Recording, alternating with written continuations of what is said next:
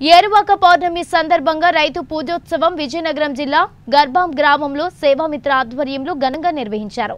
ఈ కార్యక్రమంలో ఇరవై మంది రైతు దంపతులకు వారి యొక్క సేవలను గుర్తించి వారికి కాళ్ళు కడిగి బొట్లు పెట్టి పూలమాలలతో అలంకరించి సన్మానించారు.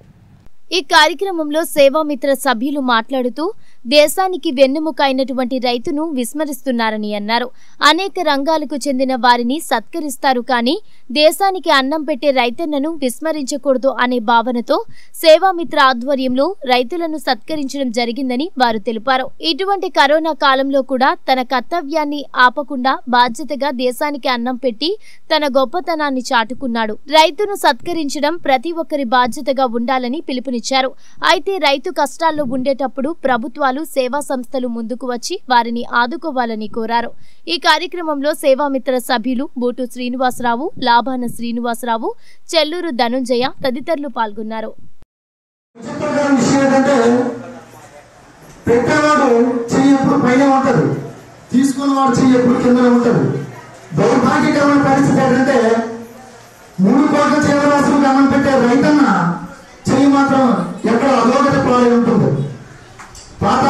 పాతాళం ఈ రోజు నుంచి నేను కూడా ఈ గర్భం సేవా మిత్రలో ఒక కార్యకర్తగా ఉండడానికి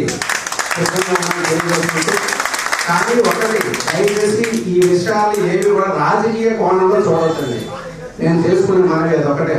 ఎందుకంటే ఎందుకు చెప్తానంటే నేను ఒక పొలిటికల్గా ఉన్నాను ఇన్వాల్వ్ అయి ఉన్నాను కాబట్టి దయచేసి రాజకీయ కోణంలో చూడొద్దండి ఏ ఒక్కరు కూడా. కేవలం మన ఊరిని మన ఊరికి అవసరమైన ఏవైనా అవసరాలు ఉంటే దాన్ని మనం ఎలా సాధించుకోవాలి? మన ఊరిని డెవలప్ చేయడానికి ఏ విధమైన కార్యక్రమాలు చేస్తే బాగుంటుంది అని చెప్పేసి ఆ కోణంలో మాత్రమే చేసేసి ప్రతి ఒక్కరు ఆలోచించండి.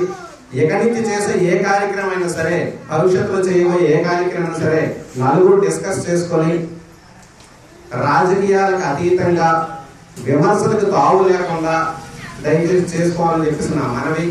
ఒక మంచి కార్యక్రమం చేసిన ముందు కూడా మరిన్ని మంచి కార్యక్రమాలు చేసుకుందాము అని చెప్పేసి సౌనీయానికి తెలియజేసుకుంటూ మరి అవకాశం పెద్దలకి అలాగే మరి ఈరోజు మనకి ముఖ్య అతిథిగా చేసిన మన మాస్టర్ తెలుగు మాస్టర్కి మన గప్ప సేవలు అందరూ